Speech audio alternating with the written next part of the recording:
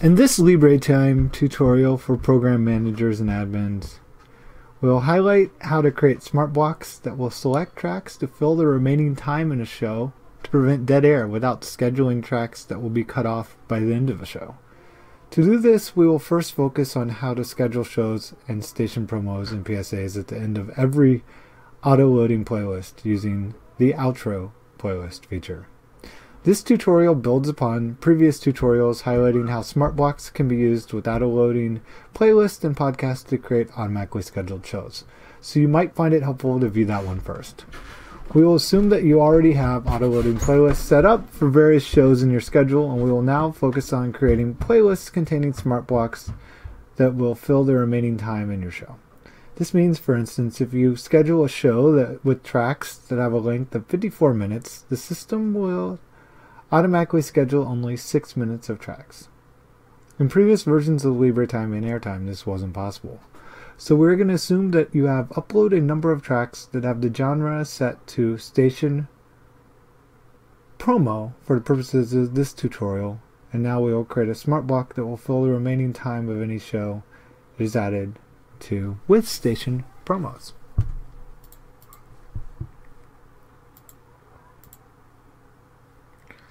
So we'll click Smart Block, then click the blue New button, and then the name of the Smart Block we'll call it Fill Show with Promos. And now we'll select Genre. And we'll select Is, and then we'll type in Promo. And then under limit, we will select time remaining in show. This will now automatically select the number of tracks that will schedule matching tracks until either there aren't any new tracks to add or adding another track would cause the track to be cut off. This will prevent situations where you have an announcement that is cut off by a new show beginning. If you click preview, it should show up to an hour's worth of tracks that match the criteria. Now let's say we also have a type of track called public service announcements with the genre set to PSA that we want to be considered for this mix of tracks. Since this is also using genre, we will click the new modifier, clicks is, and then type PSA. You can click you can choose choose preview to see if any additional tracks meet your criteria below. As you can see there's now another track that was set to PSA. This will now fill the end of the shows with promos and PSAs and you can start to sound like a real radio station. But there are still issues we need to resolve. One is that your promos and PSAs are selected randomly by the software and they might not match the time remaining exactly. For instance, if you only have 25 second long promos and you have 15 seconds of time remaining, it won't schedule any tracks because they would all be cut off. There are two ways around this. You can add a large number of short variable length tracks in a genre called bumper promos, and this will greatly increase the chances that the algorithm will be able to fill as close to the time as possible, but you also may end up with the same short files playing frequently at the end of every show.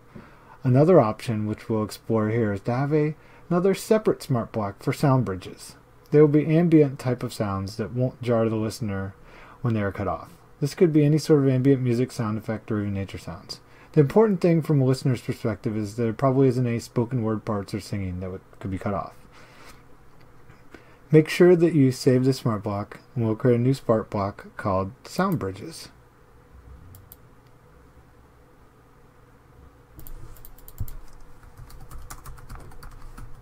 We'll select genre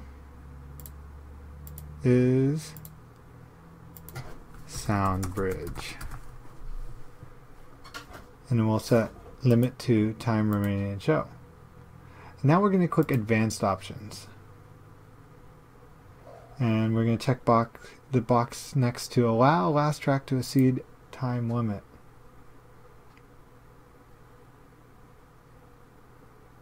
You can preview, it should show you tracks in your database that have the genre set to SoundBridge. Currently we have zero tracks. Set to SoundBridge. If you want to be careful to avoid dead air and have a limited number of tracks, you can click allow repeated tracks as well. This might end up in the same track being played a few times, but it'll help prevent a scenario where you have dead air. So now we have these two types of smart blocks. We'll still need to have them automatically scheduled, and we have a reliable way of avoiding dead air in an externally sourced show of variable length. This could be done two ways. One, they could individually be added to the end of a show's auto-loading playlist, or we can create a new playlist and assign it to the outro playlist so that it is automatically scheduled at the end of every show with an auto-loading playlist. To do this, let's create a new playlist. Let's save this. And we'll create a new playlist.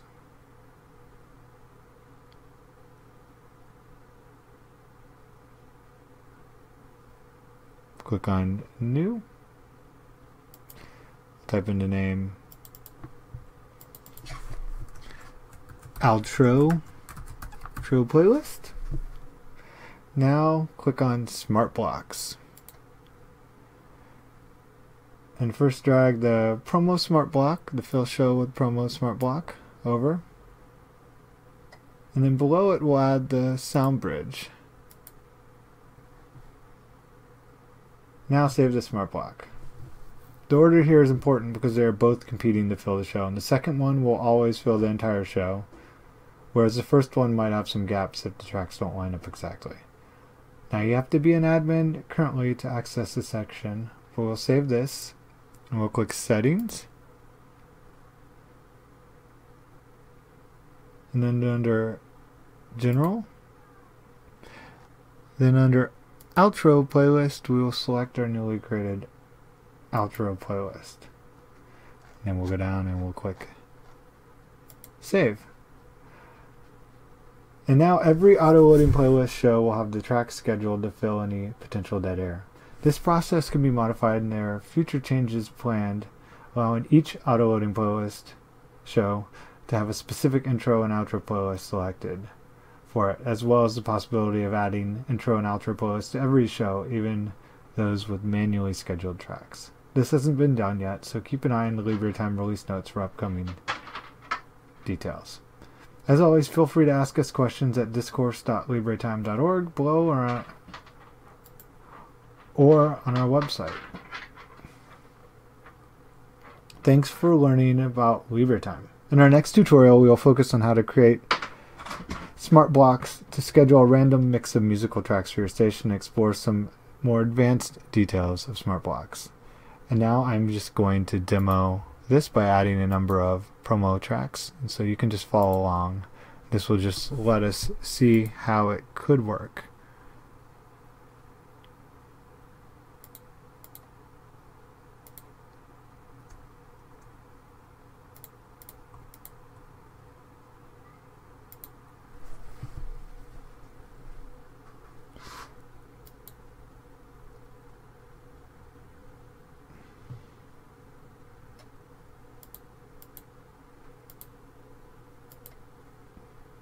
I'm going to change this to sound bridge.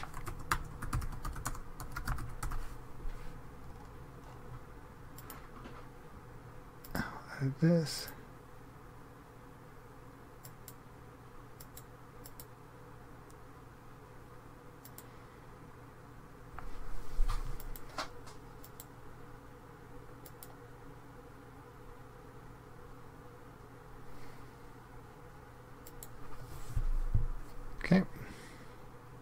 Edit this track here.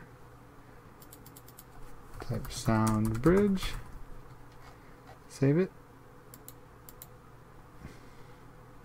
Now you'll notice we have two tracks that are this spoof ad, so we'll delete one of them.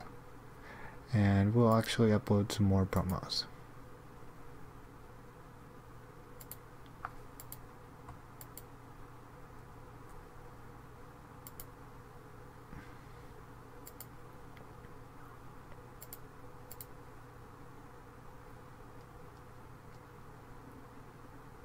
the genre to promo.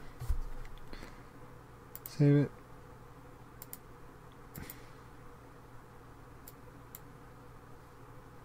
Set the genre of this one to PSA.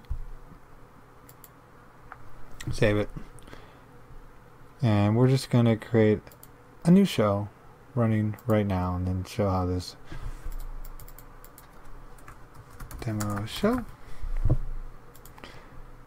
For the demo show, we will add a democracy now. Now you can see it's over here on the top. So we'll do democracy now daily show. Ah, there's only 8 seconds running, so we'll just do this after playlist. And it plays only one of those. So now let's try another new show.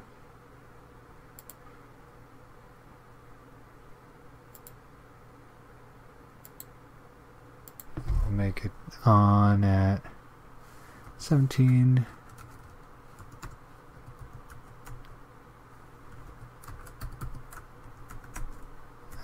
to 18 6 o'clock. Sample music. Add this show and we'll schedule tracks. And for this we will actually just do fill show with promos. And then we'll do a sound bridge. Now let's remove everything and I'll show you what would happen if we just did a sound bridge. See, it just plays the same music over and over again.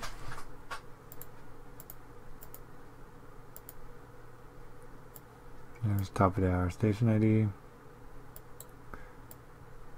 And we'll fill the show promos.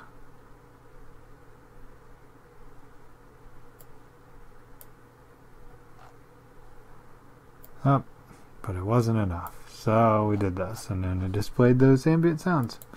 So as you can see, that works, but you will have to put a number of tracks that match whatever smart blocks you have set up to make it fully work. And on the next one, like I said, we will be showing how to do an entire show using music of a specific genre. So to help you save this. Alright, thanks for tuning in. And as always, ask any questions you got at our forum. Thanks.